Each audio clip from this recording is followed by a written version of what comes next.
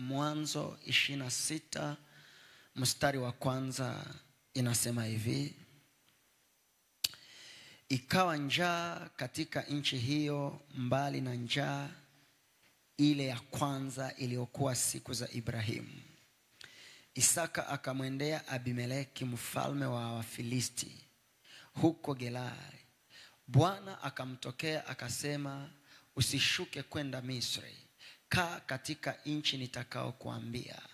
Mstari wa tatu anasema, kaa ugenini katika nchi hiyo, nami nitakuwa pamoja nawe na kukubariki, nitakubariki maana nitakupa wewe na uzao wako nchi hizi zote, nami nitakifanya imara kiapo nilichomwapia Ibrahimu baba yako. Ibrahimu baba yako. Bwana Yesu asifiwe.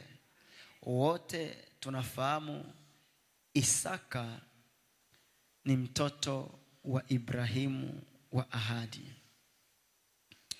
kama Biblia ambavyo imetoka kutuambia, ikawa katika nchi hiyo, mbali na njaa ile ya kwanza, yaani njaa ikaingia kama ile ya kwanza, kipindi cha Ibrahimu, ni kwamba njaa iliyoingia ilikuwa kubwa zidi ya ile njaa iliyoingia kipindi cha Ibrahimu baba yake Isaka. Isaka akatoka katika nchi hiyo akaenda katika Gelari na kuwaendea Wafilisti ili waweze kumhifadhi. Njaa inaweza kumfanya mtu asiwe na utulivu mahali alipo. Ni kwamba njaa ikiingia katika mji, na ndio maana unaona katika Misri, wakati Mungu aliona kwamba kuna miaka saba ya njaa inakuja inaokuja, lakini bado kuna miaka saba ambao watu wanatakiwa kufanya akiba. Mungu akamtokea Farao akampa ndoto. Bwana Yesu asifiwe. Kwa nini Mungu ampe Farao ndoto? Ni ili ndoto hiyo itakapopata tafsiri, Misri iweze kupambana na ile roho ya njaa. Roho ya njaa ikiingia, uharibifu unatawala amani pia inaweza ikapotea. Roho ya njaa ikiingia, wenyewe tunafahamu vizuri, hata mfalme Suleman kuna kipindi alipitia wakati mgumu, watu wakaanza kula watoto wao. Bwana Yesu asifiwe. Njaa kama inaweza fika kwa kiwango cha kumruhusu mtu amle mwanaye, ni kwamba njaa ni jambo mbaya sana, tena sana. Bwana Yesu asifiwe. Isaka akatoka akaenda katika mji wa Gerari. Kwa nini Isaka atoke katika mji wake katika nchi hiyo anaokaa ndani na kukimbilia Gerari? Ni kwa sababu katika nchi yake hapana chakula. Ameona ni bora akimbilie Gerari, wenda anaweza akapata chakula anaweza akaokoa uzima wake. Bwana Yesu asifiwe. Lakini Isaka kuingia katika mji wa Gerari, alikuwa pamoja na mke wake Rebeka. Kwa kanuni ya Biblia, Biblia inasema hivi, Rebeka alikuwa mzuri wa uso, na walipofika katika nchi hiyo, Isaka akaogopa.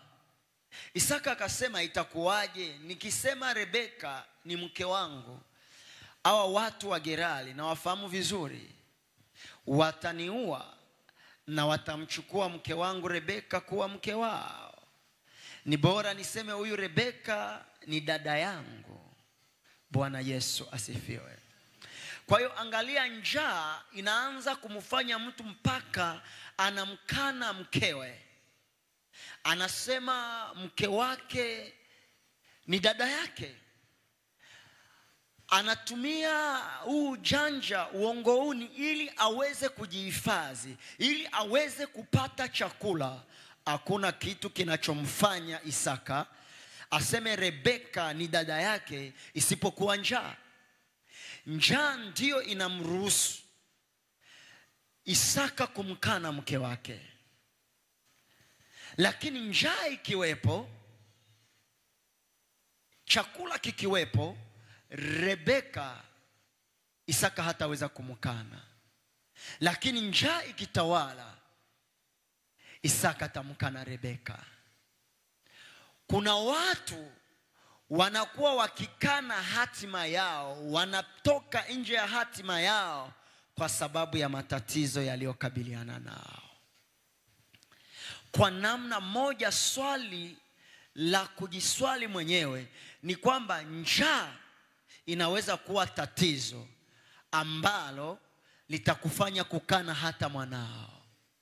Kama mtu anamkana mke wake, kama ilitokea katika mji wa wateule wa Bwana, watu wanaanza kula watoto wao, ni kwamba njaa ni tatizo mbaya sana ambalo tunatakiwa kupinga, ambalo tunatakiwa kukataa. Sikia, unaweza kukaa hata mwezi hata miaka miwili mitatu minne haujavaa nguo mpya ukaishi, lakini hata mwezi huwezi kupita kama hauli kwamba utaishi.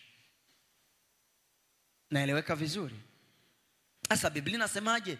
Ikatokea njaa zidi ya ile ya kipindi cha Ibrahimu. Ni kwamba palikuwepo na mlolongo wa matatizo. Matatizo yalikuwa yakifanana Kipindi cha Ibrahimu njaa ilitokea na kipindi cha Isaka mtoto wa Ibrahimu njaa inatokea. Nitasoma kwa msaada wa Roho Mtakatifu kitabu cha Mwanzo ishirini na mstari wake wa kwanza, nayo inasema Mm. Ibrahimu akaondoka huko kwenda nchi ya kusini, uh -huh.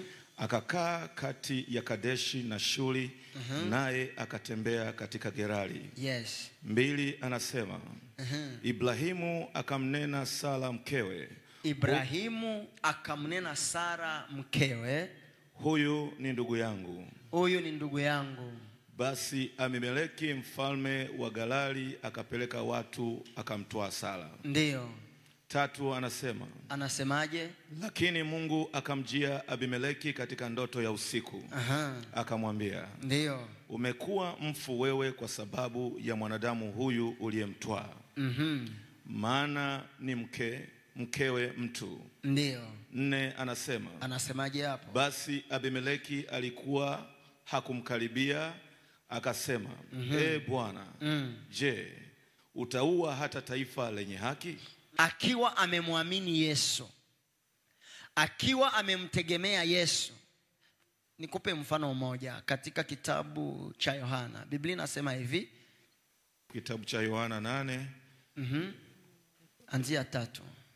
anasema waandishi mm -hmm. na Mafarisayo wakamletea mwanamke aliyefumaniwa katika uzinzi, mm -hmm. wakamweka katikati. ndio Nne anasema Aha. wakamwambia, Mwalimu, ndio mwanamke huyu amefumaniwa alipokuwa akizini. Ndio Tano anasema Mm. basi katika Torati Musa alituamuru kuwapiga mm. kwa mawe mm. wanawake namna hii, Ndio. nawe wasemaje? Ndiyo. Sita anasema Mm. nao wakasema neno mm. hilo wakimjaribu, Mm. ili wapate sababu ya kumshtaki. Ndiyo. Lakini Yesu akainama akaandika kwa kidole chake katika mm -hmm. nchi. Mm. Saba anasema mm -hmm. nao walipozidi kumhoji Ndiyo. alijiinua akawaambia, uh. yeye asiye na dhambi miongoni mwenu na awe wa kwanza kwa kumtupia jiwe. Amen. Amen.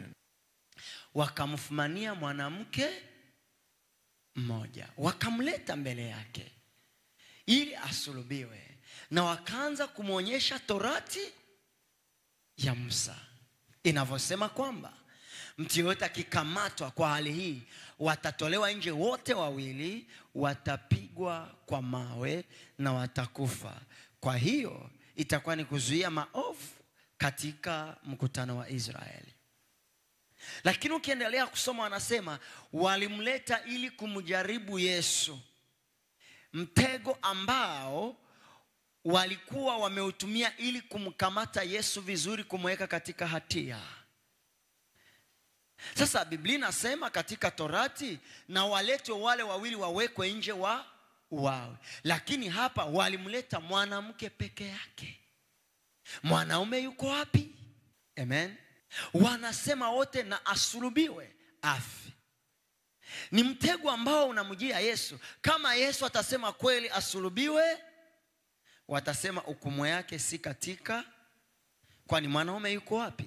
Ina maana walitengeneza kitu ambacho walifanya kitu ambacho moja kwa moja wanamtafuta nani? Yesu. Ni kwamba hii aibu inampata huyu mwanamke lakini si kwa ajili yake ni kwa ajili ya yesu. Kuna mtu ananielewa? Kuna aibu nyingine kuna tatizo nyingine linakuja kwako. Si kwa sababu ulitakiwa kupita kwenye hilo tatizo. Ni bali yesu wako uliyemwamini ndiye anayetafutwa. Bwana yesu asifiwe. akachukua akaanza kuandika kwa kidole chake chini na kusema ambaye hajatenda dhambi aye wa kwanza kumpiga huyu mwanamke mawe. Alipoinua kichwa chake wote wameondoka. Ijapokuwa wasomaji wa biblia wanatheolojia wanasema alivyokuwa anaandika chini alikuwa akiandika maovu ya kila mtu. Wanatheolojia bwana yesu asifiwe. Kwa kuna wakati adui anakuinukia wewe hakutafuti wewe. Anamtafuta yesu anatafuta ile nguvu ya jehova ndani yako anatafuta ile nguvu ya mungu ndani yako aweze kuzihaki. Aibu kwa huyu mama haikuwa kwa ajili yake. Aibu kwa huyu mama ilikuwa inamtafuta yesu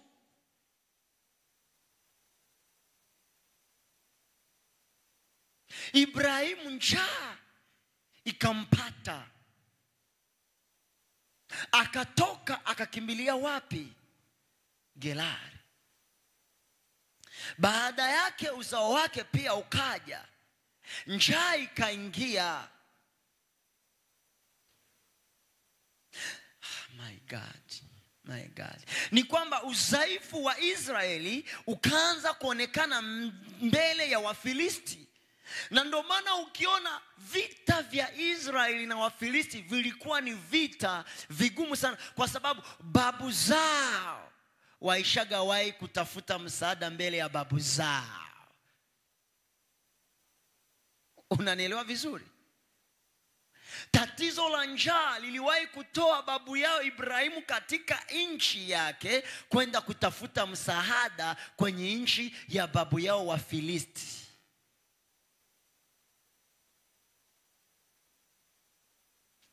angalia kuna kipindi kama unafikiria ni ongo ukisoma kwenye samuel kuna kipindi ambacho goliati huyu mfilisti alianza kumtukana mungu wa israeli na mungu wa majeshi ya israeli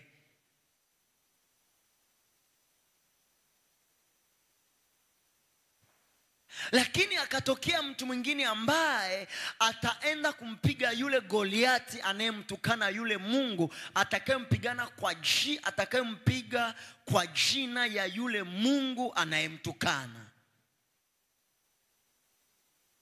Kwa hiyo tatizo la njaa lilikuja kwa ibrahimu na kwa isaka kwa namna moja ama nyingine ili kwenda kudhalilisha mungu wao kuna tatizo likija juu yako si kwa ajili yako tu ni kwa ajili ya mungu wako. Bwana yesu asifiwe. Angalia ona hiyo aibu. Ibrahimu anamkana mkewe Sara, anaambia hapana, haiwezekani. Nikisema tu Sara ni mke wangu, wataniua hawa watu, maana ni watu wabaya. Ni kwamba Ibrahimu ameisha sensi kwamba ameishajua kwamba hao Wafilisti ni watu wabaya, lakini kwa sababu ya njaa inampeleka bado kwa watu wabaya. E, jiulize juu ya swali hili. Wewe unajua fulani ni mtu mbaya, afu tena unaenda kutafuta kwake msaada, lakini katika kwenda kutafuta kwake msaada unafika kwa level ya kusema huyu ni sio mke wangu, kwa sababu najua huyu jamaa ana nguvu. Nikisema ni mke wangu ataniua ili amiliki mke wangu. Yaani tatizo linakufanya uende ukaingize mke wako kwenye hatari. Hata akichukuliwa akigeuzwa mke wako haina shida, lakini una tatizo. Mara nyingi hakuna ndoa inavunjika bila matatizo. Ndoa haiwezi vunjika bila kuwepo sababu. Kwa hiyo nataka kuambia nini? Chochote kinachokuja kwenye maisha yako kinakuwa na sababu. Sasa hizo sababu ndizo tunazitafuta tuweze kuzipambanua na kuzishinda ili tuwe hodari. Bwana Yesu asifiwe. Mwaka wa kupanda na kuvuna. Haleluya. Ni kwamba huu mwaka tutawajibika. Bwana Yesu asifiwe. Isaka ikawa hivyo hivyo, lakini uzuri mmoja wa Isaka na uzuri wa Ibrahimu alipofika huko, hata walipotaka kumgeuza Sara mke wako, Biblia inasema Mungu akatokea mfalme huyo katika ma maono. Nataka niseme nini? Chochote kitakachotokea kwenye maisha yako ili kushusha thamani ya Mungu wako, Mungu atainuka kujitetea, maana Mungu hajawahi shindwa. Lolote maadui wameandaa ili kuharibu nguvu ya Mungu ndani yako, Mungu atasimama kupigana na tatizo hilo ili heshima yake ibaki pale pale katika maisha yako. Ibrahimu aliingia katika Gerar na akamkana mke wake, lakini Mungu akuruhusu mfalme wa Gerari amjue Isa- Sara. Isaka aliingia katika Gerari akamkana Rebeka kuwa sio mke wake, lakini yule Mungu hakuruhusu Rebeka wamfahamu kuwa mke wao. Kuna matatizo yatakuja, lakini Mungu hata ruhusu hayo matatizo apoteze heshima yake katika maisha yako. Bado Mungu atasimama, bado Mungu atakupigania, bado Mungu atakuwa upande wako, bado Mungu atasimama upande wako. Tatizo ni kwamba tatizo linapokuja tunaparapara. Haleluya, tunapoteza ule ujasiri.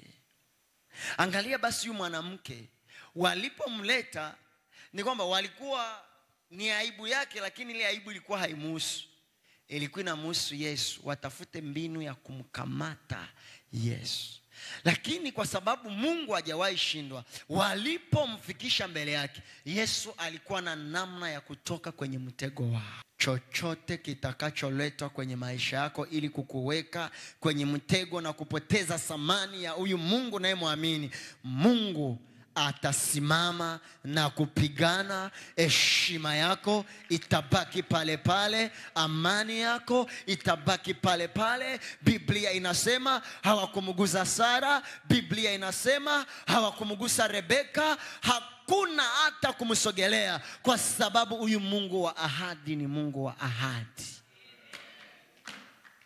Nikitaka kumaanisha nini? Kuna watu hapa wana ahadi za Mungu katika maisha yao, lakini shetani anapambana ili akamate zile ahadi.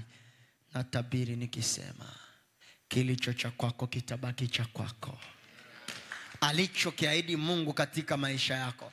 Mateso yanaweza akapita yakawa mengi, Bwana hata ruhusu kikamatwe. Wanaweza kuzuia, lakini wasichukue. Wanaweza kuchelewesha, lakini wasichukue. Nasema hivi, walichelewesha, lakini bado hawajachukua haki yako.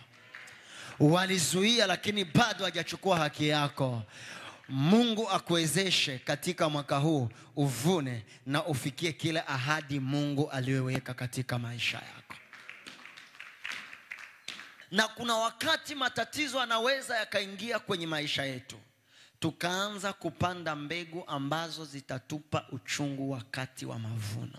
jiadhari kupanda ukiwa kwenye mateso, ukiwa kwenye machungu, ukiwa kwenye wasiwasi. Unaweza ukapanda mbegu ambayo wakati wa mavuno yake itaachilia mateso, kilio ambacho akina mtu wa kukituliza.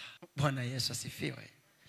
Tasoma Mwanzo kumi na sita mstari wa pili. Biblia inasema hivi: Sara, Sarai akamwambia Abrahamu, basi sasa Bwana amenifunga tumbo nisizae, umwingilie mjakazi wangu, labda nitapata uzao kwa yeye. Abrahamu akasikiliza sauti ya Sarai.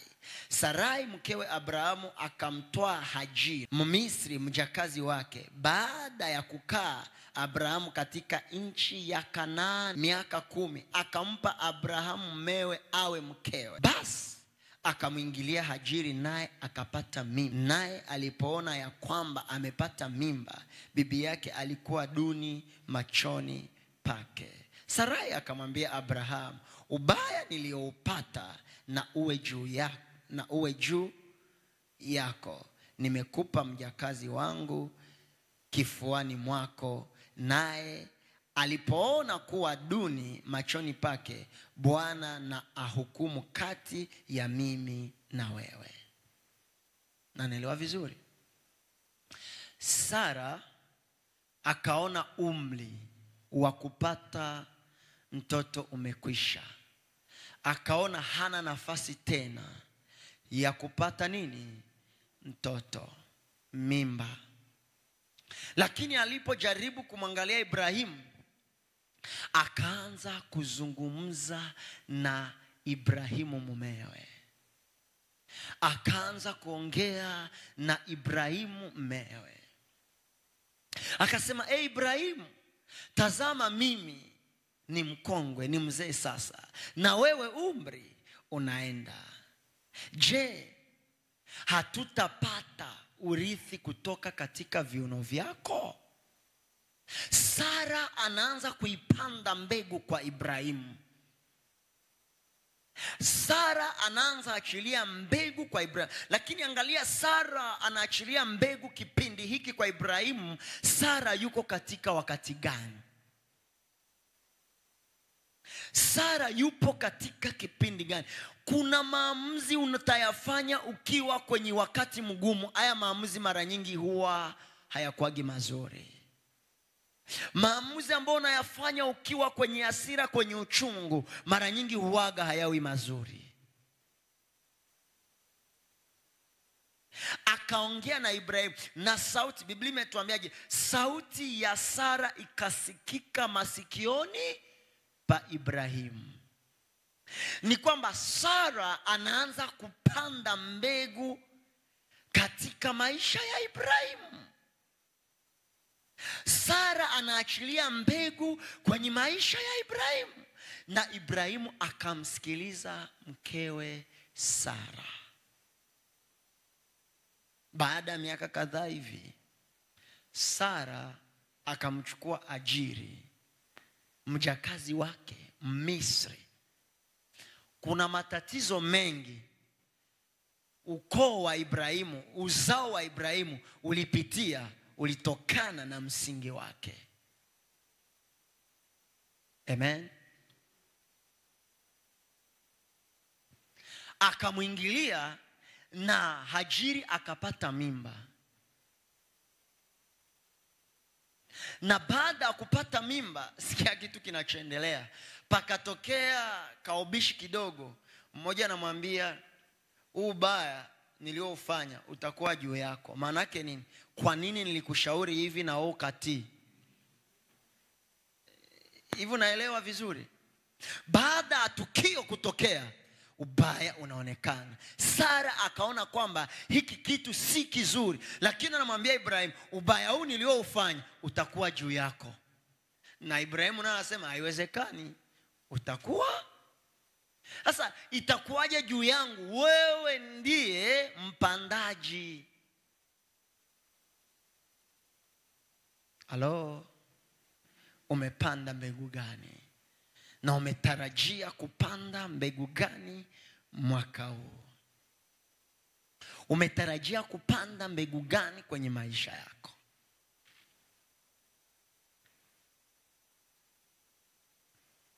Bwana yesu asifiwe apandacho mtu ndicho avunacho. Angalia hali inavyoenda. Angalia mbegu sara anayoipanda kwa ibrahimu.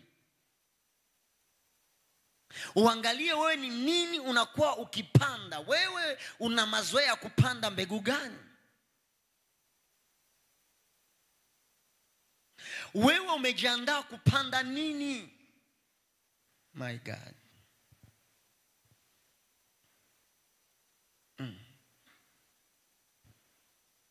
bwana yesu asifiwe.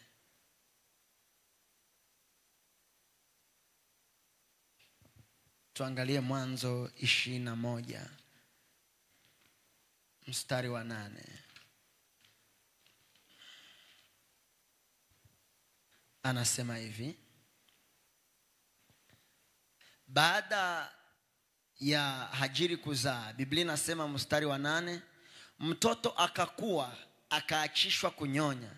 Ibrahimu akafanya karamu kuu siku ile.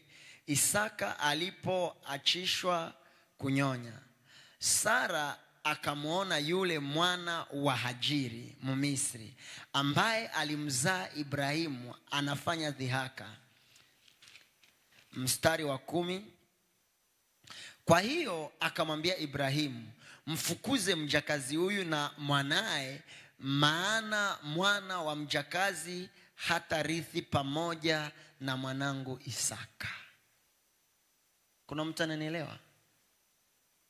Baada ya mbegu ambayo sara ameipanda mbegu ikachipuka mbegu ikaota hajiri akapata mimba akamzaa mtoto anaitwa ishmaeli. Sikia ikafika kipindi ambacho mungu yule wa ahadi aliyemwahidi ibrahimu kumupa mtoto wa ahadi kuna namna ilivyofanyika tunajua malaika watatu wakavaa mwili ibrahimu kawakaribisha kawapeleka kwake wakaandaliwa chakula wa, kabla wajatoka wakasema ibrahimu mkeo sara yuko wapi? Akacheka wakamwambia mwakani siku kama na hii mwezi kama na huu mkeo sara atakuwa na, mi, atakuwa na mtoto. Aleluya basi sara akapata mimba na akazaa nini Isaka. Biblia inasema hivi, baada ya Isaka kukua, Ibrahimu akafanya karamu. Ishmaeli naye akatokea katika nini? Karamu. Sara akamwona nani? Ismaeli. Moyo wa Sara ukagazabika, moyo wa Sara ukaugua tutaulizana maswali. Ni swali la kujiuliza je kugazabika kwa sara ni nani ambaye amekuwa mwanzilishi? Kile alichokipanda ndicho ambacho kimekuja kumtokea. Mbegu aliyoipanda kwa ibrahimu mume wangu naomba umwingilie mjakazi wangu hajiri katika viuno vyako. Je hatutapata mrithi? Kwa mwajibu wa maneno ya sara. Ina maana ismaeli ni mrithi katika, katika, katika, katika mali za nani? Za ibrahimu wakati sasa karamu inafanyika sara anamwona ismaeli akagazabika akamwambia mume wangu mfukuze ismaeli maana hata rithi pamoja na isaka my god. Kumbuka nyuma alisema tupate mrithi kutoka katika viuno. Ismaeli ametoka katika viuno vya nani? Ina maana naye ni mrithi pamoja na isaka. Lakini kwa sababu mbegu hii sara aliipanda akiwa kwenye wakati sitofahamu inakuwa mbegu ambayo inainua uchungu kwenye moyo wa sara. Kuna vitu unavipanda wakati vitakapoanza kuzaa matunda yatakuwa ni kilio yatakuwa ni machoji. Jiathari wakati unakopanda. Tathmini ni mbegu ya aina gani ninayoipanda. Kuna vitu unavipanda wakati vitakapoanza kuleta mavuno. Utakuwa ni uchungu na mateso kwenye maisha yako. Tunatakiwa tuendelee tukiwa tunaelewa ni kitu gani tunachokifanya.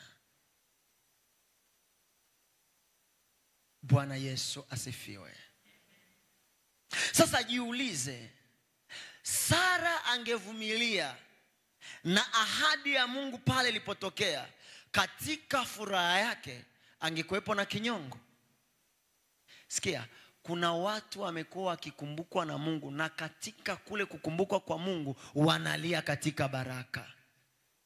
Kwa sababu kipindi kile wanasubiria baraka za mungu kuna vitu walivipanda kuna mambo waliyoyafanya jiadhari sana ukiwa unamsubiria mungu kutenda kufanya katika maisha yako. Kuna siku itakuja ingia kwenye season yako.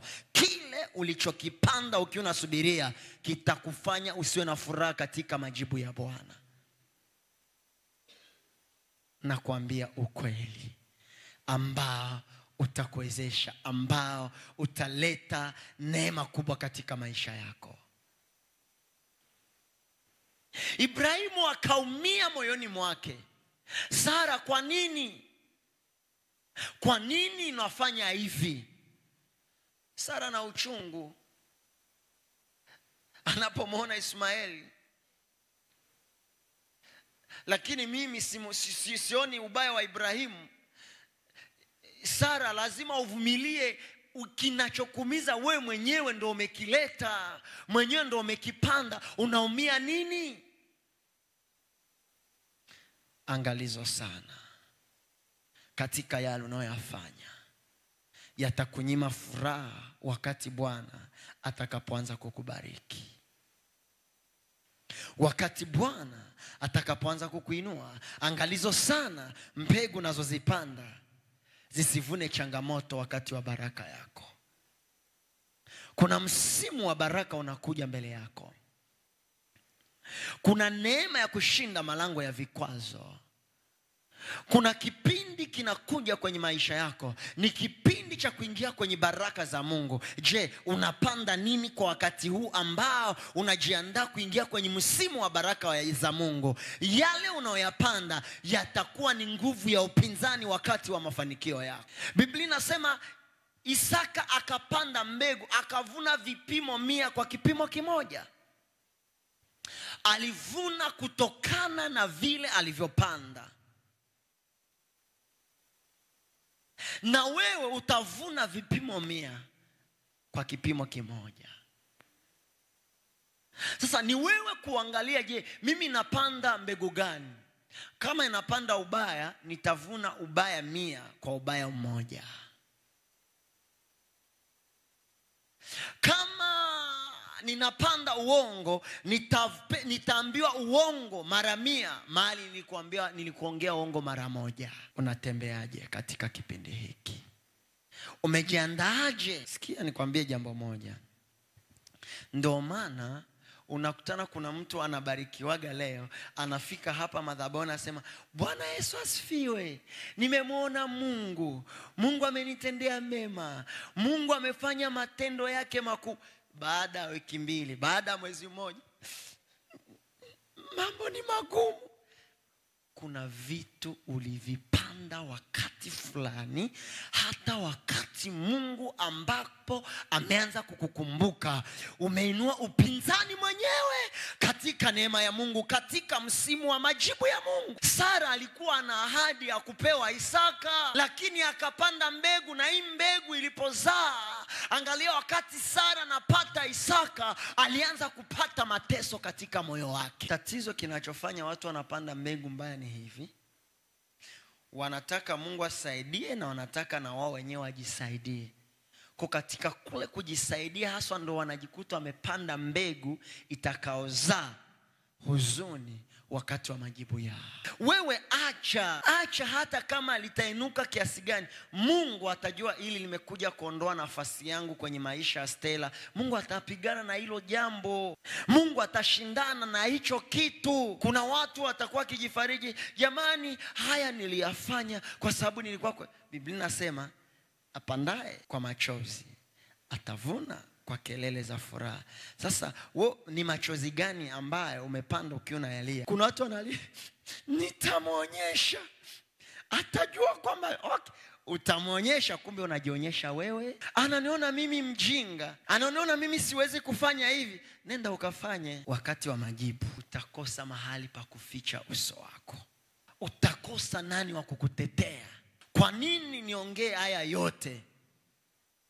Ni kwa sababu kuna mtu Mungu anaenda mpeleka kwenye heshima yake. Ni kwa sababu kuna mtu ambaye Mungu anaenda yaleta mabadiliko katika maisha yake. Sikia, Mungu anakupenda sana, anajua neema iliyoko mbele yako, anajua mema yanayokuja. Amelitanguliza neno hili ili liwe nuru mbele yako, amelitanguliza neno hili ili liwe faraja, ili likuwezeshe kupanda mbegu njema, na mbegu utakayoipanda itakuwezesha wakati wa ushindi wa Bwana, wakati wa majibu wa Bwana, uendelee kuvuna mema. Na maandiko hayaniambii kwamba yule mama aliyeletwa mbele ya Yesu alipigwa mawe. Yesu baada ya kuinua kichwa chake, wote walikuwa wametawanyika, wote walikuwa wamekimbia. Kuna kipindi, ki, kuna kipindi kimoja ambacho Yesu aliwaambia wanafunzi wake, na twende wapi? Bethania, tukamwamushe. Wanafunzi wa Yesu wakamwambiaje? Wewe jana walitaka kukupiga kwa mawe, ukapona kwa bahati, na sasa leo unasema tena turudi wapi? Huko huko. Yesu akamwambiaje? Mtu usiku hujikwaa, lakini mchana huwezi kujikwaa, maana kuna nuru. Kuna mengine yatatokea utakaposimama nafasi yako, hayatakuwa na uwezo kama. Tatizo ni kwamba tumekuwa wazuri wa kukaliri mistari ya Biblia, lakini hatujakuwa wazuri kwa kumediteti yale tuliyoyakariri. Tumekuwa wazuri wa kushika vifungo tu kifungo fulani kinasema hivi, kifungo fulani kinasema hivi, kifungo eh, kinasema akwazae na akwazikae wote watapita njia moja. Eh, nini? Tumekuwa wazuri kwa hayo, lakini kumeditate yale tuliyoyakariri imekuwa ni vigumu. Mungu akupe ufunuo uweze kuelewa ni nini kinachoendelea katika maisha yako, na Mungu wa mbinguni hataacha heshima yake ipotee juu ya maisha yako. Kwa nini adui anapoinuka hakutafuti wewe? Analitafuta jina la Yesu, anamtafuta Yesu, ni ili jina la Yesu liweze kudhalilika, na likidhalilika, wale ambao wangemwamini Yesu hawatamwamini tena. Unanielewa vizuri hivyo? Unanielewa vizuri? Sikia, kuna wakati Mungu anaweza kumpa mtumishi mmoja wa Mungu ufunuo kuhusu ndoa, na akifika hapa anapiga revelation, lakini ukiangalia kwenye ndoa yake kuna changamoto, lakini Mungu amempa huduma hiyo kuhudumia wana. Kwa nini? Kwa nini hivyo? Shetani huku anapambana aharibu ndoa ili atakapoanza kuwasaidia wanandoa wana, wanaojua historia yake wase mm, mbona ndoa yake imemshinda, anaoyasema kwa nini asinge yatumia kwenye ndoa yake? Hivi unanielewa? kwani ataniambia nini mimi lakini huku kabisa akianza kwenye hiyo sekta kwenye hiyo ofisi mungu amemubariki amempa ufunuo amempa knowledge. Akianza unasema kabisa huyu anaongea fact. Lakini ona adui anaenda piga pale pale na kuwasaidia watu kwa nini anataka kulidhalilisha jina la yesu? Mbona huu ndoa yake yeye haieleweki? Anatufundisha sisi nini? Unamkutana mungu anakupa karama ya kuombea watoto wa kuombea uzao wa mwanamke. Lakini unakutana uzao wako huku ni mapepe. Mabrazamen masista du amen. Yaani watoto hawaeleweki. Lakini wewe ukiwambia watoto wengine wanafanya nini? Wanaenda vizuri. Kwa kuna wakati matatizo anainuka hayakulengi wewe.